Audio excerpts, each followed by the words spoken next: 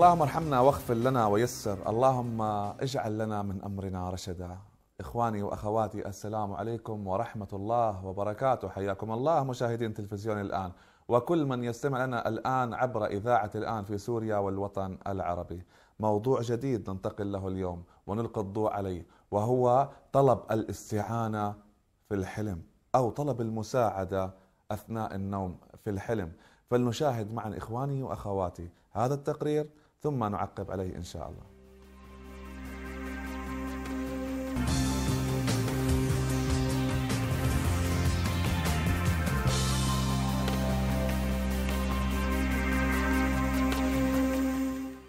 من رأى في المنام كأنه يطلب شيئا فإنه ينال منه. لما قيل من طلب شيئا ناله. أما من رأى أن أحدا يطلبه فإن هما يصيبه والله أعلم. ربما دل الطلب على العلم أو العمل أو المال. من رأى شخصا قبيح الصورة ويطلبه فذلك أمر يكره. إذا حلمت أنك تطلب الإحسان من أحد فهذا يعني أنك سوف توضع في مواقف مربكة. ولكن عن طريق مثابرتك سوف تسترد موقفك الحسن بأكمله. إذا كان الطلب جائرا فربما سترتقي في مهنتك. هكذا فسر بعض مفسري الأحلام رؤية الطلب في المنام. والله أعلم.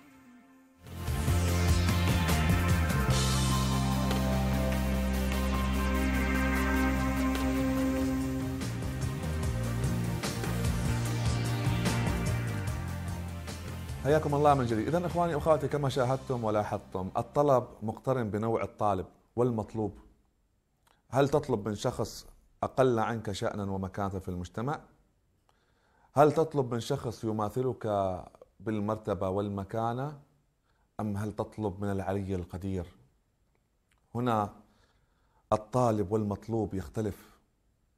دائما إخواني وأخواتي عندما نطلب شيئا من الآخرين فذلك يدل بأن لدينا العلم والمعرفة بأنه قادر على إعطائنا هذا المطلوب. يعني إذا شخص طلب من شخص سيارته فهو يعلم بأن هذه السيارة عنده. وهنا يقف الأمر على طبيعة هذا الشخص. هل هو كريم؟ هل هو عرف عنه العطاء؟ يعني عندما نحلم بسلطان أو بملك أو بأمير أو بشخص غني من المجتمع ونحلم بأننا نطلب منه أمرا من أمور الدنيا فهنا هذا الشخص إذا كان معروف عنه الكرم والعطاء فذلك يدل بأن ذلك المطلب سوف يتحقق. وإذا كان معروف عن هذا الشخص مثل ما رأيت وجهه قبيح في الحلم أو أنه بخيل أو ذلك فذلك يدل أن علينا الصبر والتمسك بإيماننا وطلب ذلك ممن هو أفضل منه وهو رب العالمين سبحانه وتعالى. وهو العلي القدير وهو من يعطي ويأخذ. هنا إخواني وأخواتي دائما في بعض الأحلام يجب أن نعلم أنه قد أحلم بأنني أطلب من شخص مساعدة أو أمر أو حاجة من حاجات الدنيا ولكن عندما أستيقظ أقول أنا لست محتاج ولست في حاجة مال ولست في حاجة أرض ولا سكن لماذا رأيت نفسي أطلب؟ هنا الطلب يكون طلب حق.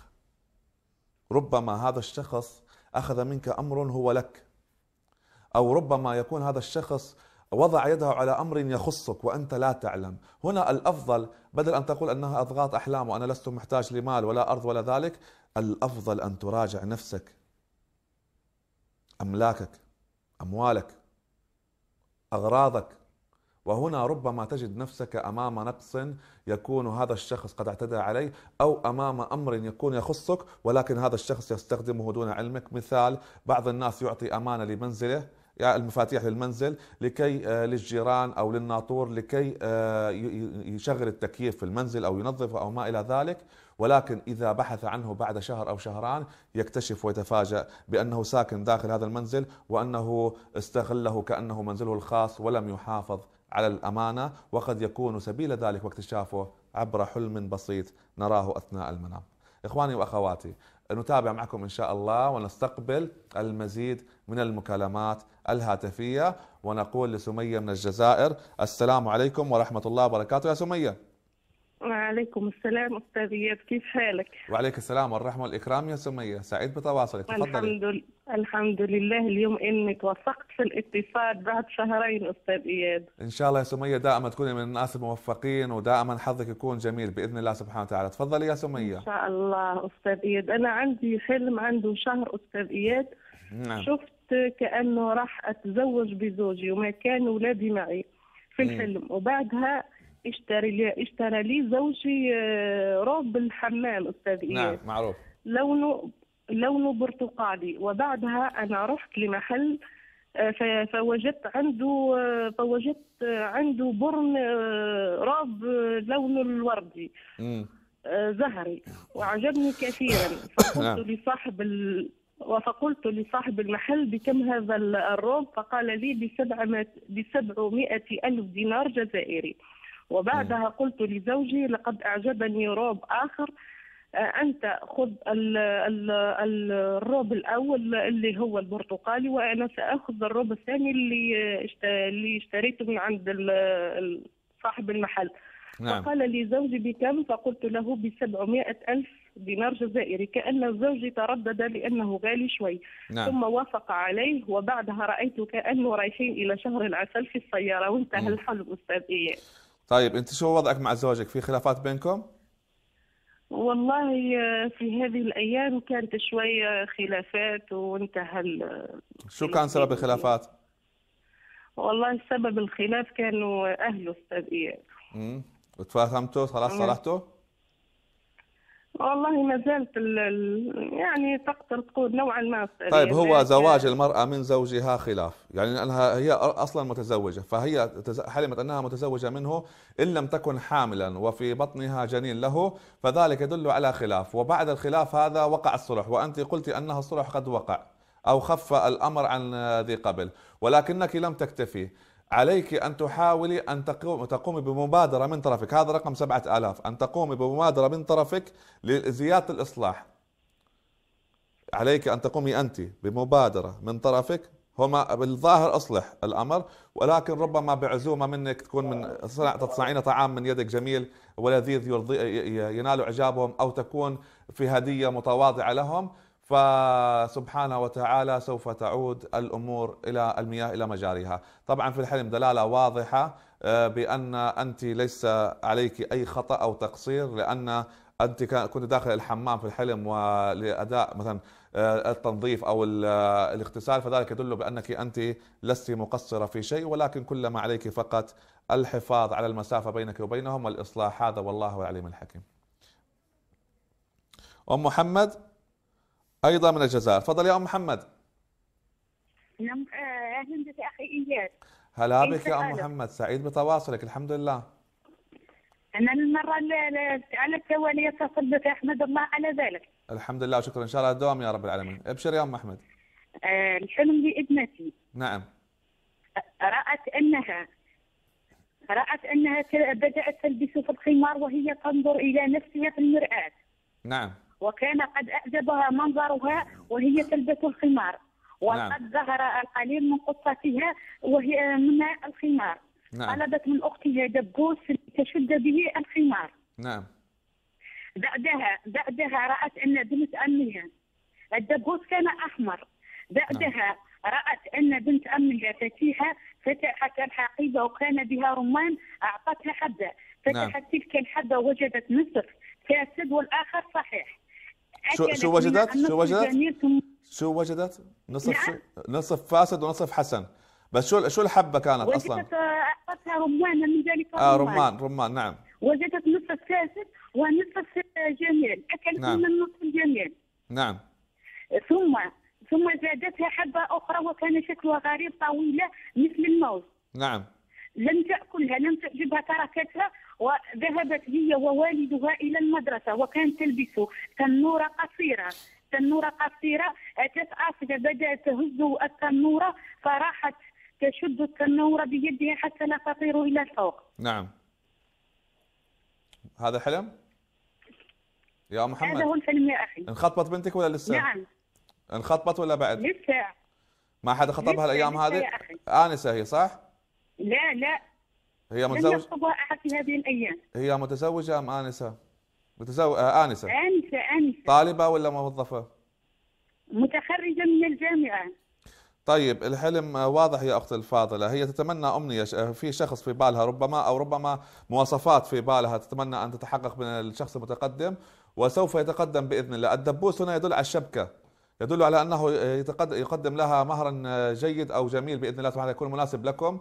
وبالحلم دلالة بالخبار أيضا وقصة الشعر على خطبة تكون آه، فيها آه، نوع من السعادة والفرح والسرور. آه، المشكلة عندنا بعد الخطبة.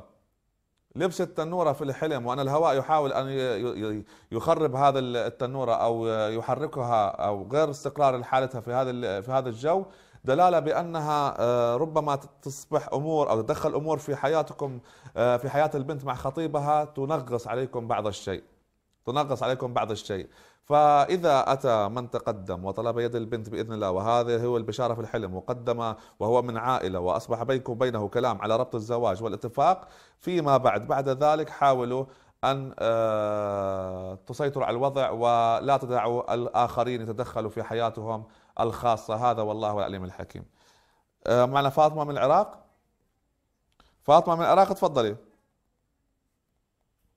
يا فاطمة تفضلي من العراق. ألو ألو السلام عليكم أستاذ. وعليكم السلام والرحمة والإكرام يا فاطمة. تفضلي يا فاطمة. ألو. أيوة نعم يا فاطمة. حلمت بطريقي إلى البيت. نعم. حاملة ولد على ظهري. نعم. ما أعرفه نعم. كانت معايا أم زوجي. ها. خل... خلي أشيل الولد عنك. بعدين هي شالت الولد, الولد تعرفيه ولا ما تعرفيه الولد؟ لا لا ما أعرفه. نعم. أنا بالحلم كنت أعرفه بس أنا ما أعرفه. نعم. بعدين هي شالت الولد. بعدين أشوف ولد أنا أعرفه بس ما عندي أي علاقة وياه اسمه محمود. نعم. أشوف ولد شاب. أيوة يا فاطمة. ما شاء الله. وبعدين؟ أم أعطاني يعني كوب لون أبيض بشكل يعني دهن أمشي يعني. طيب. قال تاخذيه هذا على أساس يعني هو كان منطي النوره زوجة أخويا يصير بها جهال وصار عندها يعني جاهل. طيب. قال تاخذيه هذا حتى يصير لك جاهل من يصير عندك جاهل تسمينه محمود. نعم. هو كان اسمه محمود الولد. نعم. واضح يا فاطمة. كملي يا أختي؟ وبعدين؟ إيه. بعدين خلص الحلم. بعدين اني بيني وبين نفسي قلت اني أسمي ابني الكبير وليد. هذا بعد الحلم ولا في الحلم؟ لا بالحلم. بالاخير طيب. يعني خلاص الحلم. وخلص الحلم. طيب اللي هي قال إنه عندها أبناء هي انت ولا واحدة ثانية في الحلم؟ وقال زيدوها هي على أساس على أساس هو منطيها صار عندها يعني مين هي؟ من هي؟ زوجة أخوك. هي ما عندها أولاد أصلا؟ لا عندها صار عندها ولد. قبل الحلم ولا بعد؟ لا قبل الحلم. قبل الحلم. طيب آه، الحلم وأنت آه، متزوجة يا فاطمة ولا آنسة؟ لا متزوجة أنا. عندك عيال ولا بعد؟ لا لا ما عندي عيال. قلتي لي أربع سنين بعد آه، شو اسمه من يوم تزوجتي صح؟ صح. طيب تابعينا يا فاطمة. تابعينا طيب خلاص هو واضح الحلم. يعني هو بالنهاية الكأس يدل على الخلفة والبنون. وبالنسبة للزوجة اللي جاها ولد إن شاء الله هي إما يأتيها أخ لهذا الولد وإما أن آه، يترافق خلفتها هذا الولد مع حملك أنت. يعني ربما الأيام القادمة الشهور القادمة نفرح فيك يا فاطمة. فاطمة لا تيأسي لا تخافي. لا تقولي أنا وضع تأخر أربع سنين ولا لا ما له داعي هذا ما له علاقة نهائيا. ربما الليلة تنامي وبكرة تروحي تراجع الطبيب تلاقي نفسك حامل ما حد يعرف. إن شاء الله ترزقين بالذرية والبنين الحلم به دلالة على كثرة الذرية في منزلك ومنزل آه، زوجة أخاك هذا والله العليم الحكيم. من معنا من السويد أم محمد من السويد تفضلي. السلام عليكم أخي إيهاب. وعليكم السلام والرحمة والإكرام يا أم محمد من السويد. تفضلي يا أختي. الله يكرمك. حلم ابني بأنه شاف والده المتوفي لابس جاكيت كحلي وعم يمشي هو وياه بموارد بالمستشفى نعم, نعم. آه بعدين والده بيطلب منه 3000 كرون بقول له بدي تعطيني 3000 كرون بشيل ابني 3000 كرون بيعطيه إياهم من فئة ال 500 وبيتركه وبيروح بي- 4000 ولا بشوف- 3000 يا أم أحمد؟ لا، أول شيء 3000 وبعدين كم أعطاه؟ أعطاه 3000 فئة ال 500 فئة ال 500 بعدين أيوه بعدين بشوف إنه شو اسم العملة عندكم؟ شو اسم. العملة عندكم يا أم أحمد؟ كرون؟ كرون. طيب. أيوه. وبعدين؟ بعدين بعدين بشوف إنه أخته راحت لعنده على المستشفى هو تركه وراح لوالده أخته راحت لعند والده بقول لها قولي له لأخوك يعطيني 3000 كرون بيرجع بعيد عليه. أه بتقول له لأخوه إنه أبوي بده 3000 كرون بعود بيعطيه 1000 كرون ثانية كمان فئة ال 500 لأخته بتعطيها لوالده وبانتهى الحلم. مم. بصير المجموع 4000 كرون. ومتوفي هو. طيب تابعينا يا أم أم محمد. تابعينا بارك الله فيك. اذا إخواني وأخواتي المتابعين معكم بإذن الله سبحانه وتعالى. زينا هذا الفاصل إن شاء الله ثم نواصل.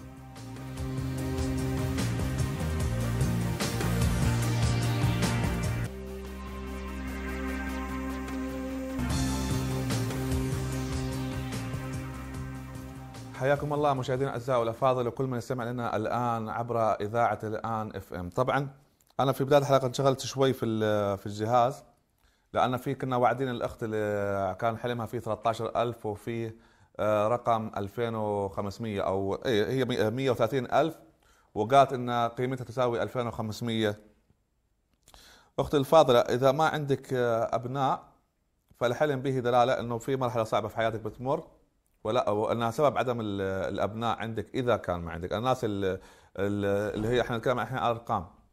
ففي الحلم يدل على أن هناك ولد يولد في هذا المنزل.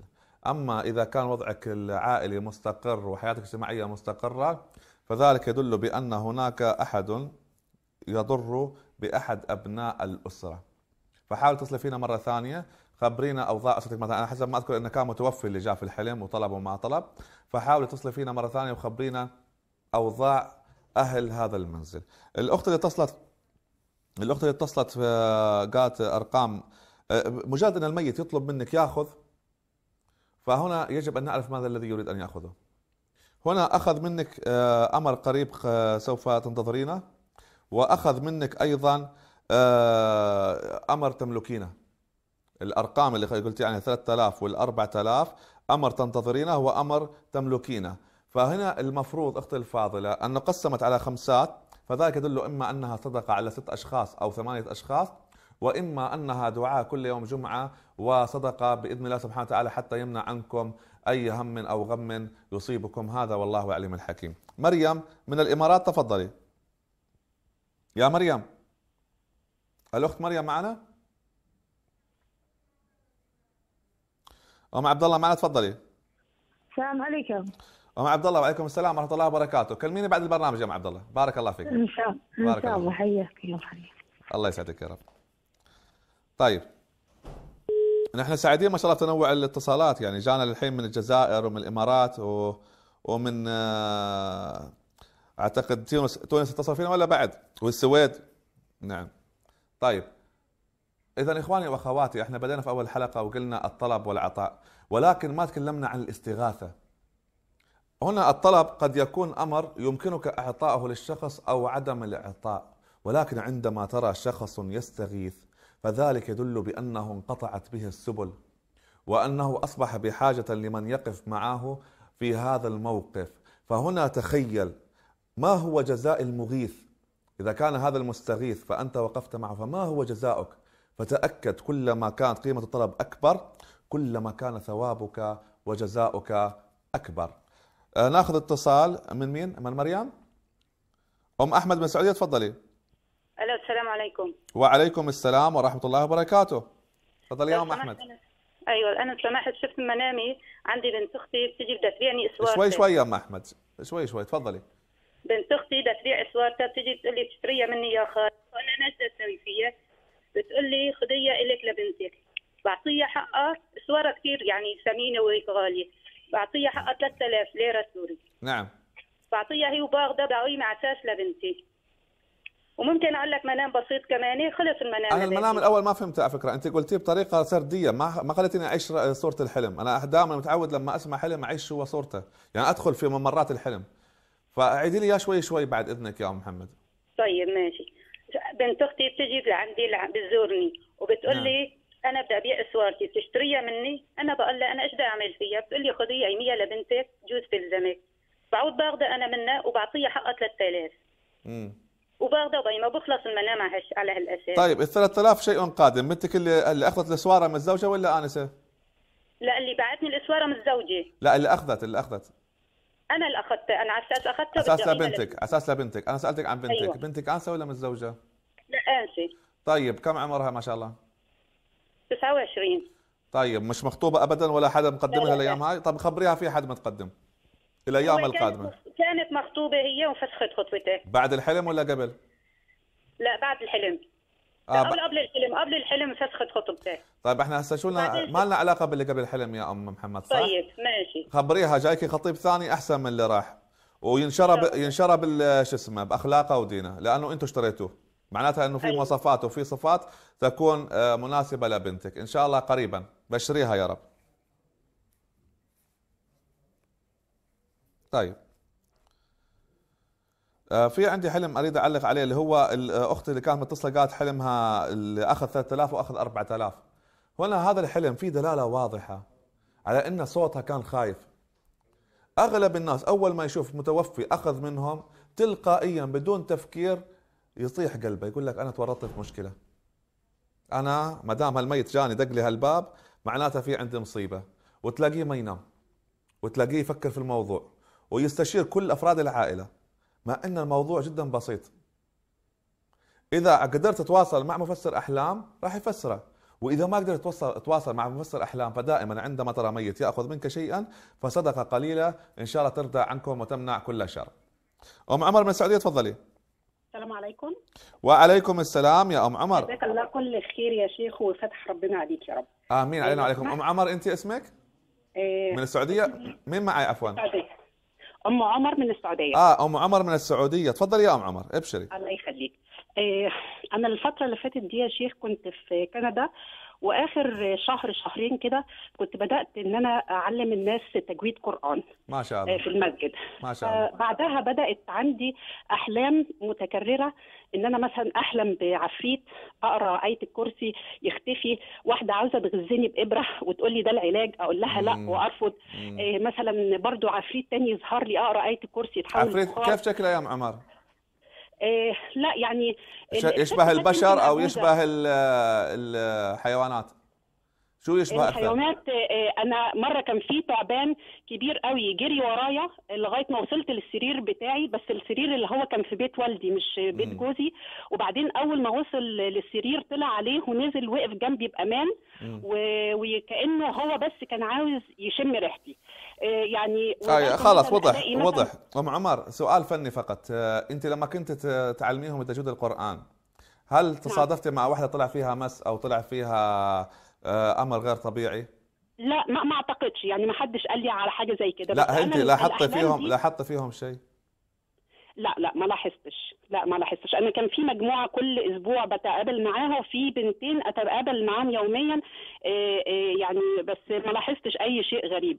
وبعد كده هو كمان الحلم واضح واضح الحلم يا أختي الفاضله تحفيظ القرآن وتجويد القرآن ليس به ضرر ولا ضرار بالعكس يجيب الخير وال- والرحمة على أهل المنزل ويزيد أجرك ومكانتك عند رب العالمين.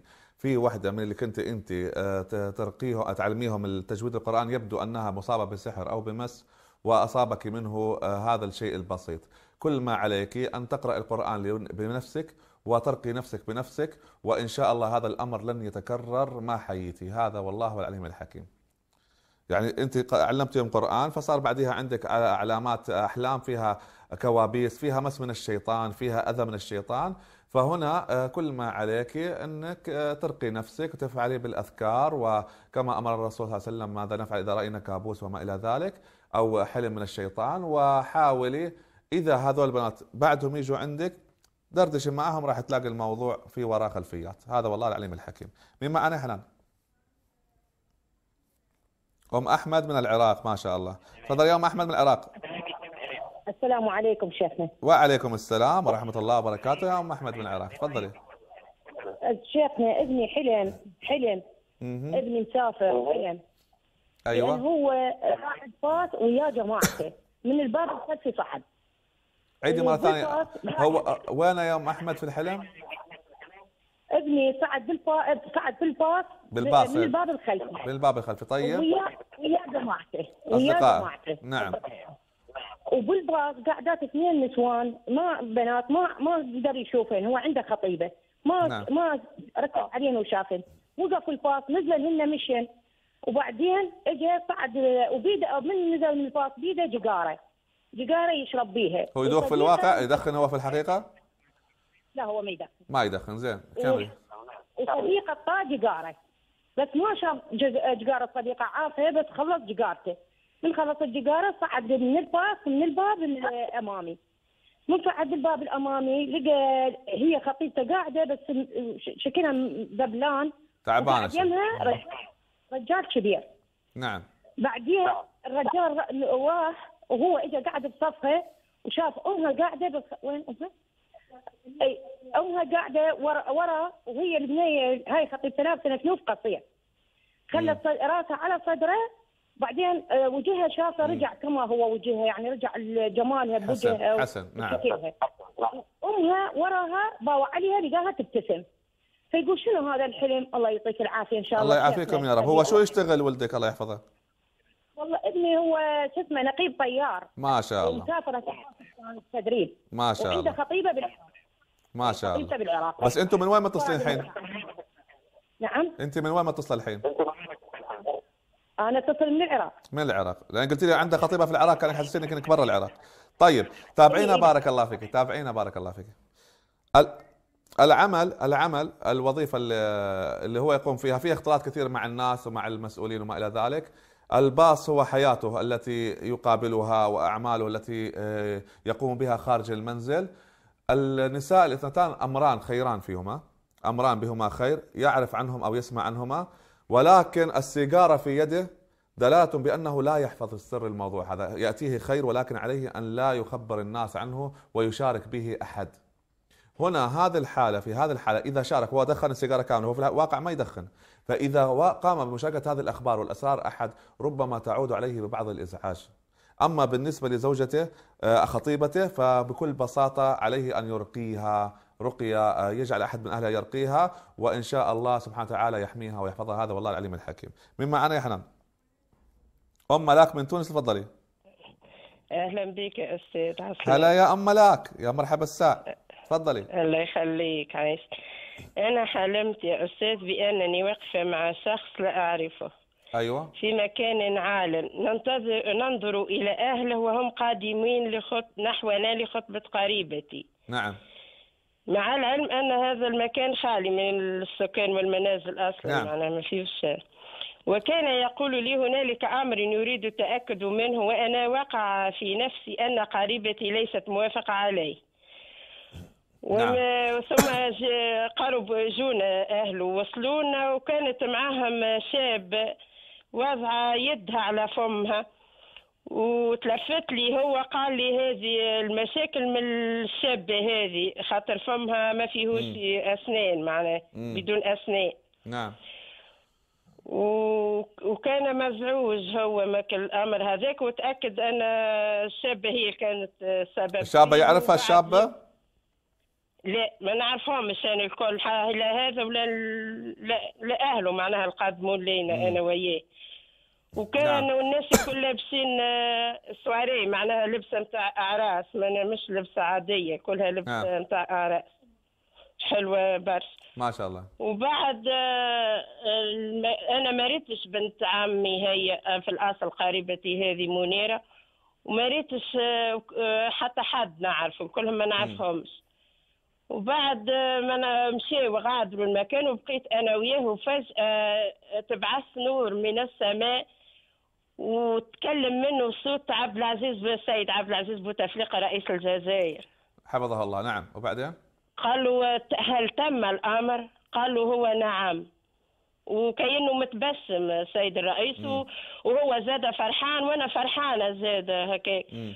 وبعد مد لي آه، الهاتف نتاعو وقال لي شوف التصاور أنا ما حبيتش ناخذ الهاتف كأني حسيت روحي ما نعرفش نحل الهاتف هذاك ما حبيتش نخجل قدام وكأني أنا ما نعرفش نحل الهاتف قد معناها طب هو هو ابنك خاطب ولا لا؟ لا ابني مش خاطب. متزوج؟ لا لا. طيب تابعينا بارك الله فيك. أم ملاك اذا إخواني وأخواتي متابعين معكم بإذن الله سبحانه وتعالى لدينا هذا الفاصل ثم نواصل إن شاء الله.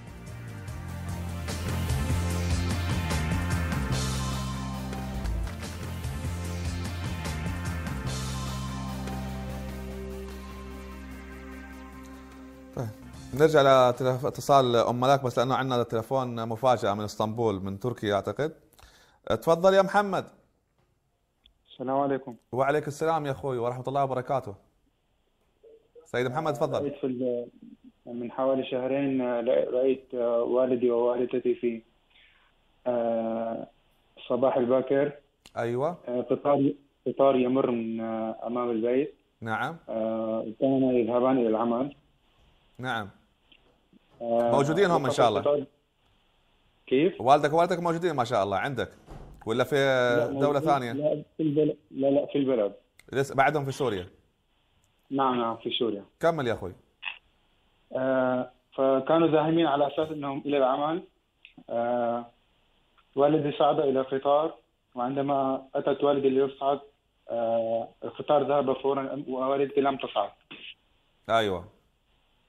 وبعدين؟ آه، ذهب انتهى. بس هذا هو.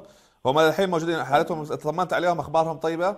أمورهم الحمد طيبة؟ لله أنا كل يوم كل يوم استمع كلهم صغيرة القطار هل في محاولة أنك تجيبهم عندك يا أخوي؟ صعد في الباب الأخير. هل في محاولة تجيبهم عندك؟ لا هل لا لا ما ما. في لا أنت ما عندك رغبة أو محاولات؟ لا لا يوجد في رغبة لكن آه، صعب يعني الأوضاع المادية صعبة. نعم. طيب يا أخوي محمد تابعنا بارك الله فيك. تش- تقدر تشوفنا عبر الشاشة عبر التلفزيون؟ تمام تمام تابعنا يا محمد. بارك الله فيك. طيب إحنا قلنا القطار هو الحياة ويدل على طول العمر ويدل على العلاقات العلاقات الأسرية. فأن ال- الوالد طلع في في القطار والوالدة تمت ذلك يدل بأن هناك أمر يخص الوالد من جهته هو من أسرته هو. إن شاء الله.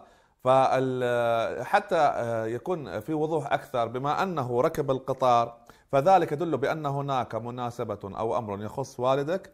إن شاء الله حفظه الله ورعاه. يكون له يد وله مكانة أو مقام فيه. أما بالنسبة للوالدة فلا أعلم لماذا لم تلتحق به بهذه المناسبة أو تخلفت عنه في هذه المناسبة فذلك يدل بأن عليكم فقط إرضاؤها وإخراج صدقة عنها والإطمئنان عنها دائما ولكن حاليا بشكل عام هو يدل عن علاقات أسرية وتواصل أسري هذا والله العليم الحكيم.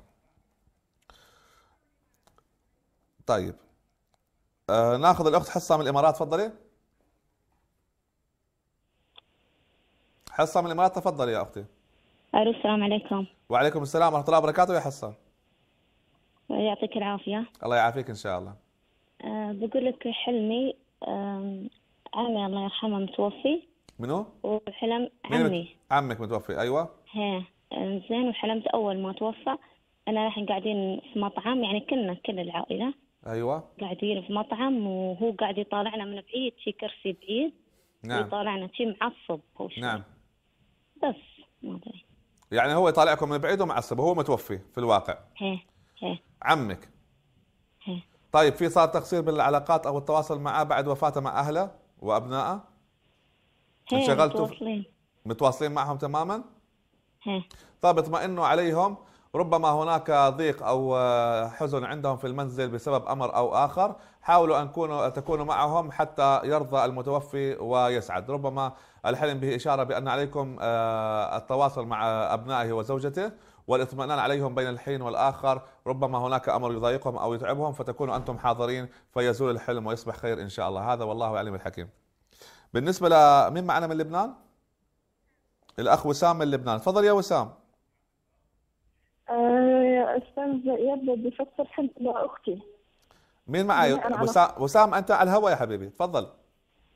أنا بنت اسمي وسام. آه, وس... آه, آه, آه, آه الأخت وسام. الأخت وسام. تفضلي يا وسام. الله يحفظك يا رب. آمين يا رب. بناء على طلب أختي بدي أفسر لها منام. شو المنام يا وسام؟ تفضلي. آه، رأت إنه هي آه، بسيارة وصعد جنبها شخص هي بتعرفه. وألبسها خاتم والخاتم كتير حلو. نعم. انتهى. بس هذا. الحلم. الشخص بتعرفه هي؟ نعم هي بتعرفه. طيب مخطوبة هي ولا آنسة؟ آه لا عذبة هي. طيب إذا صدقت الرؤيا هذا الشخص ناوي خير إن شاء الله وناوي يكون إنه يكون بينكم مصا- مصاهرة أو نسب. فإن شاء الله يكون الحلم هذا ما يكون ح- يعني رؤيا حق ما يكون آه، بسبب إعجابها فيه أو هذا إن شاء الله إذا كان رؤيا حق فسوف يتقدم هذا الشخص ويطلب يد هذا البنت. هذا والله العليم الحكيم. ألف مبروك مقدما. إذا كانت رؤيا حق. الأخ محمد من السودان تفضل. ألو السلام عليكم. وعليك السلام ورحمة الله وبركاته يا أخي محمد من السودان. الله يبارك فيك يا يا رب. أنا. حلمت إنه أنه كنت أنا بغرفه أنا والوالدة. الله يحفظها. نعم. الله يسلمك. الوالدة مريضة شوي. حلمت إنه أنا والوالدة كنا آه، بغرفة واحدة. ومعاي في نفس الوالدة في شخص قالوا لي انه هذا هو أخوك. والاثنين كانوا ينازعون الموت. مم. وأنا ما عندي أخ أنا وحيد أهلي يعني عندي خوات بس. الله يطول عمرك. فجأة نعم. توفى هذا الأخ. نعم. يعني قالوا لي إنه توفى أخوك. وفجأة الوالدة صارت بصحة أحسن يعني. يا سلام. تضحك يا سلام. ما شاء الله. شديد على أخوي يعني. بس هي كانت تضحك في الحلم ولا كانت مبسوطة فقط؟ شايف وجهها مبتسم. فجأة بعد ما مات أخوي اللي هو أنا ما عندي أخ فجأة هي بدأت تضحك والحمد لله صحتها تحسنت. يا رب. يا رب. طيب آه هذا الأخ هو الخوف. هي مرضها صعب كثير يا أخوي؟ الله يبعد عنا وعنكم ويعطيكم صحة وعافية عندها سرطان أي والله. تعالجت منا تعالج كيماوي منا. ترى هذا حتى هذا المرض له علاج الحين. والله ولا في صعوبة في العلاج؟ في توفير العلاج؟ في والله عالجناها مرة وطلع ظهرها ظهر لها في مكان ثاني والحمد لله. طيب أنا بخبرك الجانب المشرق من الحلم إن شاء الله. وإن شاء الله ما يصيبها شر ويحفظ لك إياها ويطول عمركم يا رب العالمين. إن شاء الله يا رب. إن شاء الله. طيب اذا أخوك في الحلم هو قلبك هو خوفك. هو خوفك على والدتك وأنها يصيبها شر بعيد الشر عنها وإنك أنت آه، تشيل حزنها. موت ال- الولد هذا انتهاء الخوف. يعني هذا الخوف راح ينتهي. بسبب شو؟ إن شاء الله أسأل الله سبحانه وتعالى يكون شفائها. الضحك في الأحلام قد يدل على آه، بعض آه، بعض المشاكل أو التعب وقد يدل على النصر. قد يدل على بعض المشاكل والتعب وقد يدل على النصر. لماذا؟ لأن به ظهور للأسنان وذلك يدل على ظهور القوة والنفوذ. فإن شاء الله إن شاء الله أن يكون إن شاء الله يا رب العالمين يا الله يا كريم يا رحمن يا رحيم أن يكون سبب موت الأخ في الحلم وسبب موت الخوف في الحلم هو نجاة الوالدة وشفاؤها إن شاء الله. يا رب. الله يحفظ لك إياه يا رب ويحفظ الجميع. طبعا الأخت أم ملاك من تونس اللي اتصلت قبل شوي آه، الحلم يعني واضح يا أختي أم ملاك إن ال- ال- الفم البنت ما في أسنان دلالة بأنها آه، دلالة بانه ليس هناك حجة أو دعم. أن بعد ذلك رأيتم السماء أصبح بها ذلك النور فذلك يدل بأنكم كلما قرأتم كتاب الله سبحانه وتعالى يا أم ملاك أنت وابنك اللي متصلة كلما زادت حجتكم وقوتكم. عند الله سبحانه وتعالى بالذات عند قيام الليل أو بعد الصلوات. هنا عندما تزداد هذه القوة والحجة يأتي صوت من؟ بوتفليقة حفظه الله ورعاه رئيس الجزائر. آه، ويأتيكم معه ذلك الهاتف يعني يدل على الخبر. يأتي معه خبرا سعيدا. فإذا كان ابنك لديه أي نية في السفر أو في عمل أي شيء أو القيام في أي شيء فأخبره أن يقرأ القرآن ويقرأ القرآن ثم يقرأ القرآن ثم ينتظر من الله سبحانه وتعالى القوة والحجة والثبات. هذا والله العليم الحكيم. كان باقي معنا سيد حيدر؟ طيب إحنا بدأنا نتكلم في هذه الأمور قبل كذا وتكلمنا عن ان الأحلام تساعدنا في توقع ما لا يمكن أن نتوقعه فلننتقل اليوم إلى موضوع آخر. ولو ما كملنا اليوم نتابع إن شاء الله الأيام القادمة. ما هو تفريغ الشحنة السلبية واستبدالها بشحنة إيجابية خلال النوم؟ إنسان طال عليه المرض. تعب كثيرا عانى. منذ فترة طويلة ممكن سنة ممكن عشرة ممكن سبع سنوات الله أعلم. ولكنه تعب من ذلك المرض. فنام فرأى نفسه بصحة جيدة. أو رأى حلم يدل على الفرج والشفاء. هذا الإنسان مع المرض والفترة الطويلة كان عنده آه، طاقة سلبية أو آه، شحنات سلبية في دماغه وفي قلبه. مجرد أن رأى هذا الحلم يستيقظ ثاني يوم بإذن الله سبحانه وتعالى وهو سعيد. فرغ جميع هذه الشحنات السلبية في حلم. في أقل من خمس ثواني أو دقيقة حلم في خلال نومه يستيقظ ثاني يوم مرتاح. يقول له مالك شو صار لك؟ اليوم متغير. يبتسم. يقول رأيت رؤيا في المنام بأنني سوف أشفى. فأعاد الله سبحانه وتعالى له هذا الأمل. وأعاد له ربنا سبحانه وتعالى هذا التفاؤل. فربما يكون هذا سببا للشفاء لأنه عندما أتاه الأمل والتفاؤل واستخلص من تلك الشحنات السلبية وأتى مكان إيجابية وجد لديه الطاقة للشفاء. مواصلين في هذا الموضوع إن شاء الله يوم غد. وراح نتكلم أيضا عن آه، الأحلام تأثيرها النفسي علينا في عدة أمور وجوانب من حياتنا خلال الأيام القادمة إن شاء الله أكثر وأكثر. تقريبا آه، انتهى البرنامج ما بقى معنا شيء حتى ألقاكم يوم غد. أقول لكم إخواني وأخواتي السلام عليكم ورحمة الله وبركاته.